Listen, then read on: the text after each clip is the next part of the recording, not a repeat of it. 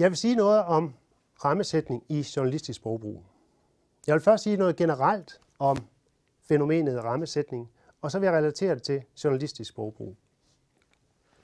Rammesætning, det er et helt basalt sprogbrugsfænomen, og det kan anskueliggøres med et uskyldigt eksempel. Her har jeg et udsnit af virkeligheden, et glas med vand. Det kan jeg beskrive på forskellige måder. Jeg kan beskrive det som halvt tomt og halvt fyldt. Og det, der er karakteristisk ved beskrivelsen, det er, at den ene beskrivelse fremhæver det ene, den anden fremhæver noget andet. Den ene beskrivelse fremhæver det, der ikke er i glasset, og den anden fremhæver det, der er i glasset. Øh, det interessante det er, at de her fremhævelser samtidig giver anledning til nogle tolkninger. Den ene giver anledning til den tolkning, at i form af en vurdering, nemlig at det er en negativ tilstand, og den anden giver anledning til den tolkning, at det er en positiv tilstand. Den sproglige mekanik, der er på spil her, er ret simpel. Vi har to poler på en skala, tomt og fyldt, og så vælger jeg, hvilken en af de to poler, jeg vil bruge som sammenligningsgenstand for beskrivelsen. Og det, der så influerer på tolkningen, det er, at vi har forskellige værdier forbundet med hver af de to poler. Tomt er skidt, og fyldt er godt. Det er bare en måde, som sproget stiller til rådighed for os til at beskrive virkeligheden. Men der er mange andre og væsentligt mere avancerede former, og de involverer rammer. Så dem skal vi se lidt nærmere på. Rammesætning er en oversættelse af framing. Framing er afledt af frame, og på dansk siger vi ramme. Ramme er oprindeligt et psykologisk begreb. Det dækker kort sagt over, at det, vi husker, er organiseret. Man kan også sige, at det er en organiseringsform for vores erfaringer. Eller for al den information, vi får ind i dagligdagen. Om det så er morgenavisen, om det er medtrafikanternes adfærd eller mørke skyer på himlen. Kognitionsforskeren Marvin Minsky, han beskriver en ramme således. Når man konfronteres med en ny situation, vælger man fra sin hukommelse en struktur, der kaldes en ramme. En ramme er en struktur til at repræsentere en typisk situation. Det, man skal lægge mærke til her, det er, at det er en typisk situation. Det er altså en viden om en situationstype. Det vil sige det, der er fælles for en række situationer. Og det beskriver man med metafor, således at rammen har pladser. Hver plads de repræsenterer nogle typiske roller og funktioner, der kendetegner en situation. Og de kan så i en konkret situation udfyldes med de elementer, der kan tildeles de her roller og funktioner.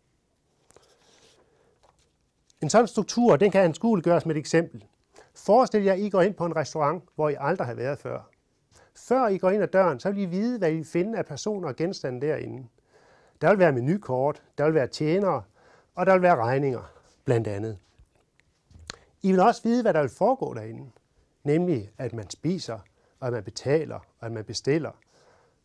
Øh, og I vil også vide, hvilken rækkefølge de her begivenheder de foregår i og også hvad I skal gøre på hvilke nogle tidspunkter. Og det er faktisk en betingelse for, at I får succes med jeres forhævne. Rammer er også en betingelse for, at vi kan forstå tekster. Og det kan illustreres med et kort uddrag fra en novelle af Jan Sonnergaard. Den går sådan her. I dag spiser vi på Erla 8, og da vi var nået til kaffen, lod Ulla som om hun ville stikke af for regningen. Tjeneren lod sig nu ikke narre af skuespillet, så hun blev nødt til at gå tilbage til bordet igen. Det, man skal lægge mærke til her, det er fortællerens brug af, ubestemt, af bestemt form. Han bruger bestemt form på kaffen, på regningen, på tjenerne og på bordet. Og når han bruger bestemt form der, så forudsætter han, at det er en viden, der er tilgængelig for læseren på det pågældende tidspunkt. Og det er på trods af, at det ikke er nævnt i det foregående. På rammeteoretisk grundlag, der beskriver man det således, at ved den første sætning, i dag spiser vi på 8, der aktiverer man en ramme for et restaurationsbesøg. Og så er al den information til, til, tilgængelig for, for læseren. Det vil være en ramme, der altså omfatter sådan noget som tjenere og regninger. Og det vil også være en regning, eller det vil også være en ramme, der fortæller os om, at man først spiser, og så betaler man, og at man skal betale. Hvis man ikke har sådan en ramme, så kan man ikke skabe sammenhæng i forståelsen. Så øh, man kan sige, rammer tillader med andre ord læserne at tilføre en mængde information til forståelsen. Og det gælder vel at mærke både fiktiv og ikke fiktiv sprogbrug. så rammer altså faktisk en betingelse for forståelsen, ja, for at vi overhovedet kan kommunikere så hurtigt og effektivt med sproget, som vi faktisk kan. Der er altså ikke noget mistænkeligt eller farligt ved rammer. De er en betingelse for, at vi kan handle succesfuldt og for, at vi kan forstå tekster. Det var rammerne. Rammesætning. Det er så det, at afsenderen med sine sproglige valg kan bestemme, hvilke nogle rammer, der skal aktiveres. Og dermed kan hun også bestemme, hvordan vi forstår det, der beskrives. Det er nemlig sådan, at når vi først har aktiveret en ramme, så vil vi forsøge at udfylde pladserne i rammen. Det vil sige, at vi fokuserer på de elementer i situationen, der kan udfylde pladserne og tildeles bestemte roller og funktioner. Det, der særligt har tiltrukket sig opmærksomhed i den retoriske og kommunikationsorienterede forskning i rammesætning, det er det, at en og samme begivenhed kan rammesættes på forskellige måder. Tag for eksempel den begivenhed, at Bjarne Ries fortalte om sin brug af midler på dopinglisten. Det blev rammesat i en forudsigende analyse af en sport, sportsredaktør sådan. Bjarne Ries tilstår. Verbet tilstår, det har potentiale til at aktivere en ramme. Vi kunne sige, at det er sådan noget som en efterforskningsramme. Det er en, vi forbinder med kriminalitet. Man kunne også have valgt nogle andre verber. Man kunne have valgt Bjørn Ries bekender, og det er potentiale til at realisere eller til at aktivere en religiøs ramme. Bjørn Ries indrømmer en moralsk ramme, og Bjørn Ries erkender en psykologisk ramme.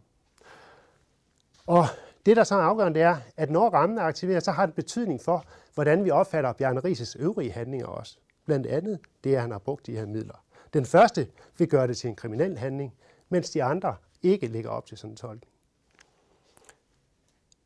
Det interessante er så, at rammesætningen kan påvirke vores vurderinger og vores præferencer og de valg, vi træffer. Det har man vist i et meget berømt forsøg af Kattemann og Tversky. Der er imidlertid også forsøg, der har vist, at, øh, at det ikke er helt øh, så simpelt igen, og at effekterne kun er kortvarige. Men der er ingen tvivl om, at rammesætning kan have indflydelse på vores præferencer og vores valg i øjeblikket. Den kognitive lingvist han har fremhævet effekten på lang sigt, det vil sige, at den gentagende brug af rammesættende udtryk. Tag for eksempel politisk tiltag som det at sænke skatten. Det er efterhånden blevet norm i Danmark, at vi bruger ordet skattelettelse om det. Lettelse, det er et udtryk, vi typisk bruger om noget positivt. Og Lackers pointe det er nu, at ved at vi gentager ordet skattelettelse igen og igen og igen, så vil der ske det i vores hjerne, at vi efterhånden forbinder en sænkning af skatten med noget positivt. Det vil sige, at vi langsomt og umærkeligt overtager den værdi, der indebærer en sænkning af skatten af noget positivt. Sprogbrug kan altså via rammesætningen øh, anvendes som et led i en ideologisk kamp. Det var fænomenet generelt. Jeg vil nu relatere det til journalistisk sprogbrug. Den opfattelse, vi får af virkeligheden, den får vi for en stor dels vedkommende gennem medierne. Vi får også information fra mange andre kilder i dagligdagen, men der er mange begivenheder, hvor den eneste kilde til information, vi benytter os af, er medierne. For eksempel begivenhederne i Libyen. Vores grundlag for at indgå i en politisk diskussion og for at stemme ved et folketingsvalg, den sker blandt andet på grundlag af den opfattelse, vi har fået af virkeligheden gennem medierne. Det er derfor klart, at journalisters rammesætning af begivenheder spiller en afgørende rolle i demokrati. Hvordan skal journalisterne så håndtere det? Ja, vi kan jo sige, at de bare skal være objektive, og at de bare skal gengive fakta. Men det er der nogle problemer med ud fra rammesætningsperspektivet. Den første det er den, at der er nogen, de vil mene, at intet er objektivt. Alt er rammesat, og enhver ramme vil øh, repræsentere et værdigrundlag. Det er den ene indvending, man skal tage højde for. Den anden, den beror på et forhold, at der opstår øh, nogle nye behov med samfundsudviklingen. Sociologen Brian McNair han har fremhævet samfundets øgede kompleksitet og den voksende informationsstrøm. Og han peger på, at det skaber et behov for at skabe overblik og sammenhæng. Hvis journalister begrænser sig til at gengive fakta, vil læserne stå tilbage med et skærvebjerg af informationer. Der er altså behov for en journalistik, der giver øh, overblik og sammenhæng. Og det får man netop i den forklarende journalistik. Men det betyder så også, at den fortolker fakta. Det er altså de to problemer, man skal håndtere i en beskrivelse. Alt er rammesat, og journalistikken skal også formidle tolkninger. Hvordan så med objektiviteten? Hvordan kan vi have objektivitet på de her betingelser?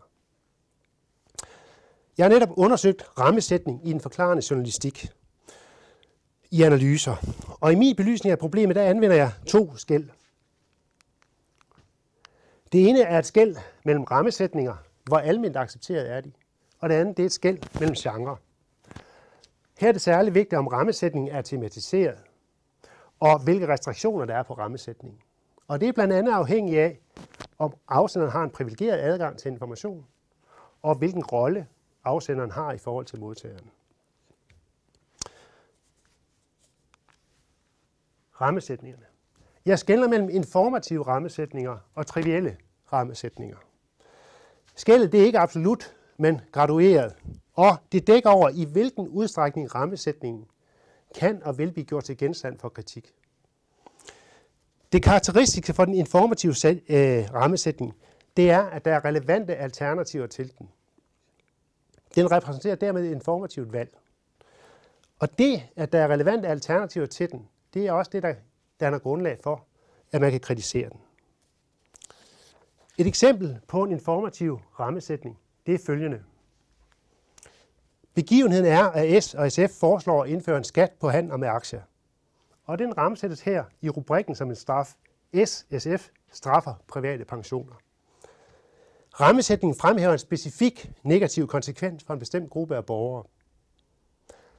Et alternativ, det kunne være følgende. SF dæmmer op for uhemmet spekulation. Den vil fremhæve den positive effekt. Og fordi der er sådanne alternativer, så kan man kritisere den aktuelle rammesætning. En triviel rammesætning, den vil omvendt ikke med rimelighed kunne gøres til genstand for kritik. Det, der er karakteristisk, det er, at den er almindeligt accepteret og kan bruges på tværs af værdigrundlag. I ovenstående eksempel, der kunne det være at rammesætte begivenheden som skattepolitik. Det kunne man gøre med ordene S, SF vil indføre afgift på handel med aktier. Det vil til gengæld være banalt, men det er netop også karakteristisk for den trivielle rammesætning. Situationselementer svarer med andre ord til rammens almene værdier. Og derfor er den ikke informativ, og snarere end at være en del af det kommunikerede, så danner den grundlag for kommunikation. Skældet mellem genre, det er et skæld med hensyn til, om rammesætningen er tematiseret, og hvilke restriktioner der er på rammesætningen. Og jeg skældner her mellem formidlende, argumenterende og forklarende genre. De formidlende genre, de er kendetegnet ved ikke at tematisere rammesætningen. Afsenderen har en privilegeret adgang til information, og formålet er at formidle fakta. Her trækkes der på rammesætningen som et middel til kommunikation, og da modtageren i overensstemmelse med formålet forventer en formidling af fakta, så bør rammesætningerne fra en normativ betragtning være trivielle. Notitsen, telegrammet, noten er et eksempel på formidlende genre. I de argumenterende genre vil rammesætningen være tematiseret. Formålet er en afvejning af alternative rammesætninger med henblik på at lægge sig fast på én rammesætning. Eller i mindste øh, blive klogere på, hvordan parterne i debatten forholder sig i en sag. Afsender og modtager, de indtræder på lige fod, og der er ingen principielle restriktioner på rammesætningen. Rammesætningen den er ikke nødvendigvis tydeligt tematiseret. Den kan være skjult.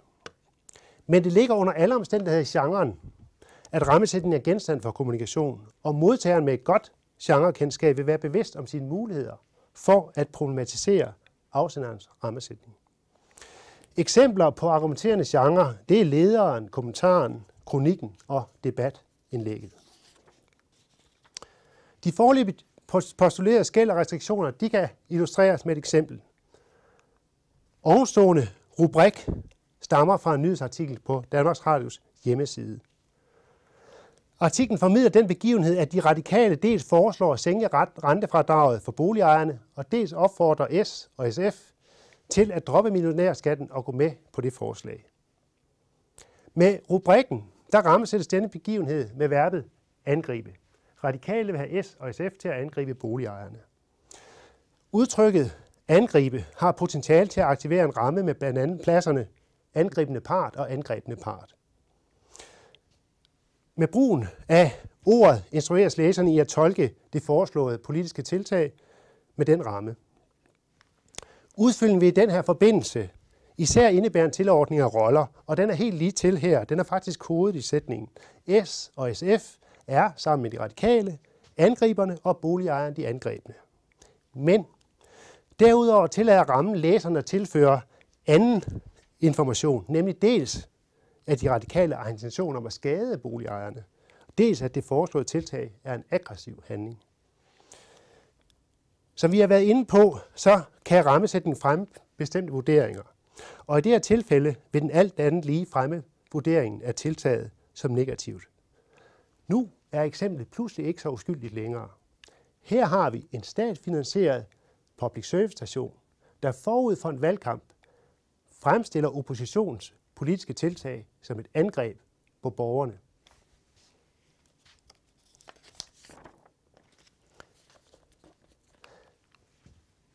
Den er formentlig produceret af Ritzau, men det fratager ikke Danmarks Radio for deres redaktionelle ansvar.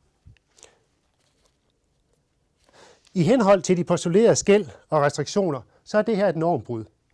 Teksten den er markeret som genren tilhørende kort nyhed, og dermed er der restriktioner på rammesætningen. Det skal være den trivielle. I det her tilfælde vil det være rammesætning af forslaget som skattepolitik, og det kan realiseres med ordene sænke rentefordraget. Når man opfatter ovenstående rammesætning som problematisk, og det tillader jeg mig at gå ud fra, så kan det altså forklares med de postulerede skæld og restriktioner. Og bemærk så, at det havde ikke været et normbrud i en argumenterende tekst. For eksempel en leder. I det tilfælde vil vi nemlig vide, at afsenderen forsvarer et standpunkt og har særinteresser i en bestemt rammesætning. Og så vil vi have de mentale parader oppe, så at sige. Men her, der bliver ideologien snedet ind under den forudsætning, at det er en almindeligt accepteret opfattelse.